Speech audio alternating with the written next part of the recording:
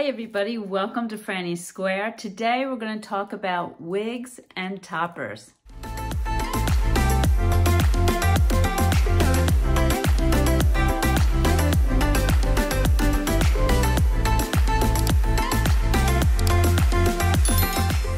So yesterday I posted the crochet and tell video for episode 35 and in the beginning, I talked about the fact that my hair had been thinning and I decided to just go with it and start using wigs and toppers instead of trying to make my little bit of hair seem like more.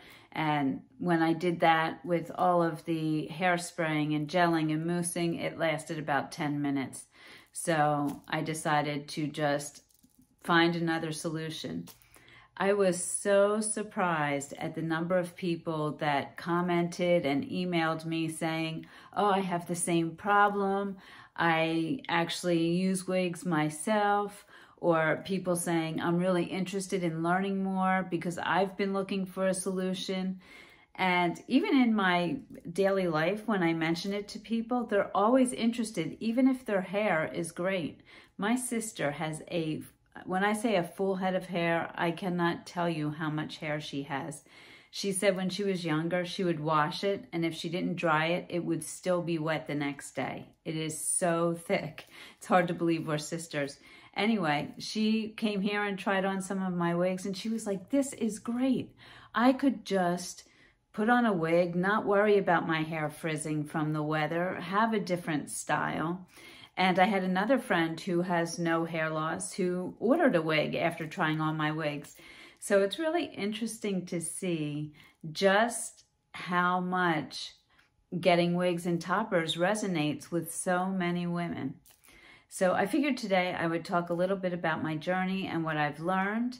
And rather than have it be about me, what I'd like to do is give you as much information as I can if you're interested in starting on your journey and uh, some of the things that I've picked up along the way that I think could be helpful.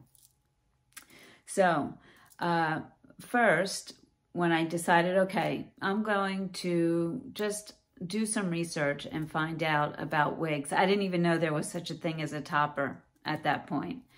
Uh, I started watching some YouTube videos, and there are some really great resources out there, and I'm going to list them in the description box below.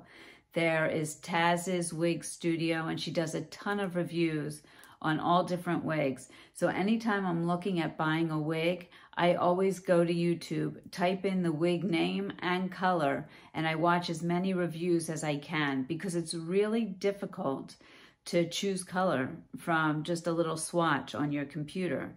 So anyway, I was on YouTube and I'm watching people putting on these wigs and I'm thinking, wow, and they look so good in so many different styles. It was amazing to me. The same person could put on different colors, different styles, and just really look great in them. So I decided to go online and order a wig, and I found one that I thought I would like. And they came back to me and said, this wig is out of stock. It's not going to be until January. And I thought, I really want to get started. So my husband said, why don't we just find a wig store nearby and we'll just pop in and, you know, take a look around. So I looked up a place. There was a place about an hour from here. And we just drove over there. And I walked in and I said, I'm interested in looking at wigs. And the man who owns the shop took me to a back room and we just started looking at them. And he would, he actually started looking at the toppers. And I didn't know there was such a thing. Um, but he put a few on and he matched the topper to the color of my current hair. And I think that's really important I didn't realize how important at first, but it really is a shock when you see yourself in some totally different style or different color hair. My advice would be to get something that is as close to your natural hair color, um, you know, waviness, straightness, density, as close as you possibly can for your first piece. That way you'll feel more comfortable and you'll be able to wear it out at first. I thought I was going to have no problem just, you know, popping on any old wig and walking out there. But it really is, um, it's startling at first. And I was like, oh, I don't know if I could wear it out. So I'm glad that I went to this wig place and he fitted me for a topper, which by the way, I'm wearing right now. So, and I'm going to show you, I'm going to take it off so you can see what the topper looks like.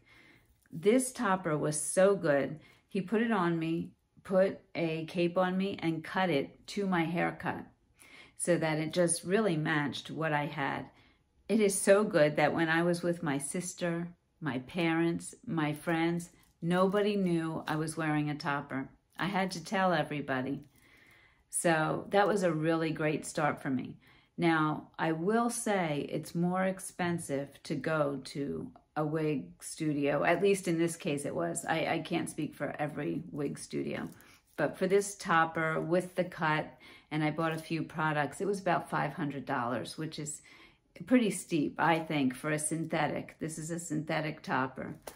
Um, but it was worth it for me because I knew nothing and he was so, so helpful and he did cut it, you know, to fit my style. So I don't think it was too expensive for what I got, but um, I know not everybody wants to spend that to start out.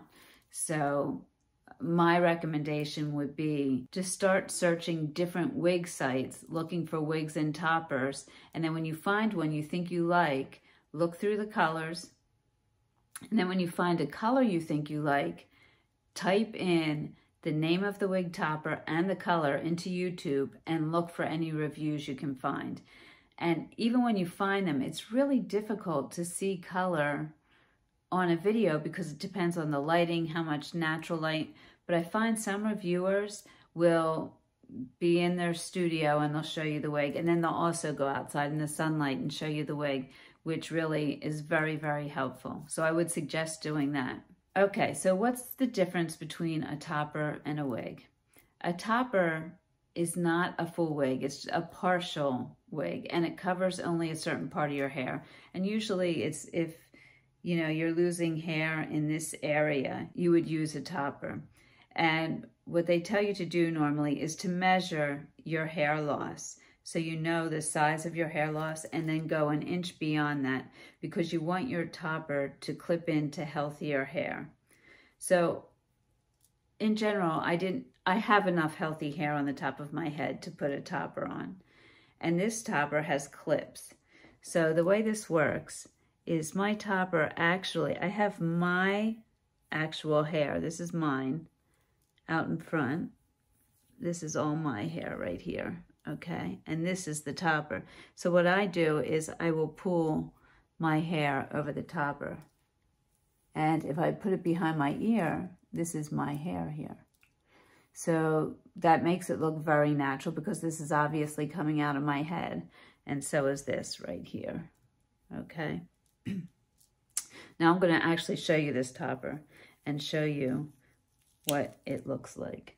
This one has five clips, and I know there are toppers that have different types uh, or different ways of putting them on your head. This is the only topper I own, and I'm telling you what I know. There's so much more information out there. So um, when I put the resources below, you can actually go to those websites and learn more. I was going to do this here. You get to see how thin my hair is. Look at this. That's the difference. So I still have hair, you see, but it's really very thin in these areas. Okay, so let's look at the topper.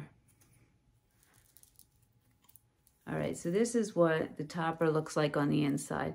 And this is a monofilament. And the way that works is, if I show you here, you can see my hand through the part there. It's kind of hard to show you but this is my hand under there. And that's what makes it look like a scalp. It's pretty amazing, isn't it? How the hair is just growing out of this monofilament. So when I, the wigs I've bought, I've gotten at least a monofilament part or a monofilament top. If you have a monofilament top, you can part your hair in any place. If you have a monofilament part, it's just a part of the top and you would want to have your part where that part is. So these clips, you can see they just snap like that and open. Let's see if you can see that. Yeah. So what it does is when I put this on, well, first let's look at the parts of this. You have some lace down here. Sometimes you'll have sometimes you'll have some wefts and wefts. Oh, actually, these do have wefts. Look like this. Those um, lines there, and they that's when they machine a piece, I believe. If I'm saying anything incorrectly, please, anybody out there who knows about wigs, correct me, okay? Um, and this also has like a little bit of, it looks like a silicone here that helps it grip. Okay, now this is a synthetic piece. There are synthetic fibers there are heat-friendly or heat-defiant synthetic fibers, and on the heat-friendly and heat-defiant, they're more fragile, but you can curl them, you can heat them. With just a plain synthetic, you shouldn't take heat to it. Um, and then there's human hair, which is a much more expensive alternative, and I think you take care of it like you would normal hair, although I don't know if you can actually color or bleach it. I think it depends on the human hair piece. In any case, I wasn't ready to spend that kind of money. And I really liked the way this look and the color and the highlights in that. I thought that was so pretty. So to put this on, what I do is, let's try to sit sideways. This is the front of the piece and this is the back. I flip it up and this center clip here. I line it up with my nose and my parts line up. That is where I normally part my hair. And I clip it in right behind my natural hair, right there. Just like that. Then the other clips, I kind of just stick my my thumb under and it grabs onto the hair that's under there. Not too tight because you don't want it to hurt. And I just clip that and that. Then I go behind there like that. And that's it. And then I, I kind of pull my hair out front and around it and style it. Now, whenever you're styling a wig or a topper, you want to use um, things that are meant for wigs and toppers. There are combs. I'll list any item I talk about here. Actually, I'm going to go get the comb and show you. I'll be right back. Okay, so this is the comb that I use. It's a wide tooth comb. It's by Jon Renau, who is a wig manufacturer. And this is fine to use. And if you have the wig on your head, hold it down, the wig or the topper, whenever you want to. You don't want to be yanking it all over the place. There's also special shampoos uh, and styling products for wigs. You don't want to use your regular shampoos and styling products because you have to be careful of drying out the wigs and toppers. I'm always saying wigs and toppers. Okay, uh, this is a brush meant for wigs. You can see it, it doesn't like grab onto and yank the hair like a normal brush would. So you can use that as well on these. So that's the topper I have, and that's the only one I got, and that's the first thing I wore out and around. I felt comfortable. Nobody noticed it. Uh, they just thought that I had my hair done, and it looked better than normal. So next, I went a little crazy. I thought, this is awesome. So I could have the hair that I always wanted. I mean, my hair's always been straight and thin. So what did I want? Thick, curly, blonde. But I jumped from this to thick, curly blonde. Okay, so I'll show you the next wig I got. And these aren't right out of the box, but when I do reviews, as they come to me, I will show them to you right out of the box, give you the dimensions, everything like that. But this is really just talking more about the process. Okay, so I was watching Taz's Closet, and she did this review of, I think it was like her favorite wigs from 2021. I think that's what it was called. And her favorite was the Dalgona 16. So, and she put it on and she looked awesome in it. I was like, all right, I'm getting a Dalgona 16. This is the Dalgona 16. Look how different it is. And it actually came a little bit more wavy. I've combed through it since then. It's a beautiful wig as you can see. It's synthetic, it's heat defiant. I'll show you the inside so you can see what the cap looks like. So this is what a monofilament part looks like. So as long as you have your part in this spot, it'll look like a natural part. Then this is wefting, open wefting. So it does stay nice and cool. This is what's called the nape, and this is an extended nape because it's longer. And then you have these, and this is how you can adjust your wig. So that's one other thing. You want to make sure you measure your head so you know the size wig you need. Now, most people, like 90 some percent, can fit an average wig. So I will, I will link to a video about measuring your head and looking at the sizes to know what size you are. I fall as a petite average. My circumference is 21 and a half inches.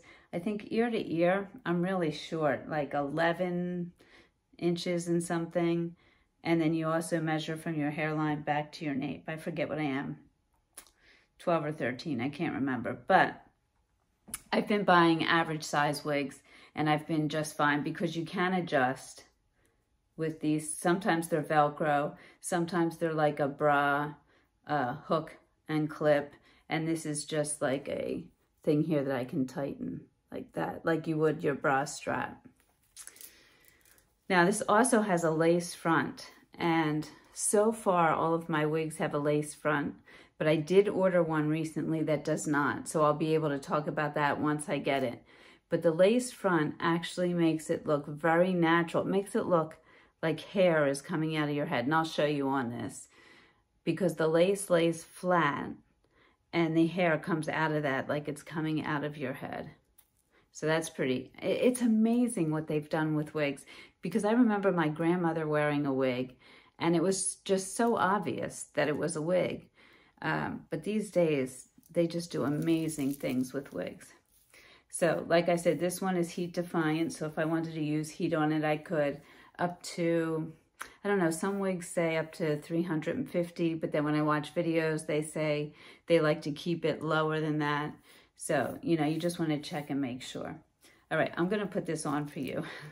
Wait till you see how different this is. When I first put this on, I was so shocked. I was like, oh my gosh, I can't wear wigs. This is crazy. But I think as you work into it, and you wear things that are more natural for you. Like the one that I was wearing yesterday in the video was a straight dark long wig. So it was still, you know, my texture hair, just longer and the color matched more.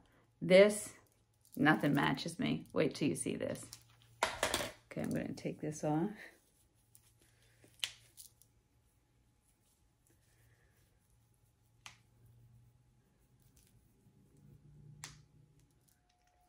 Okay, so to put on a wig, many people use wig caps, wig grips.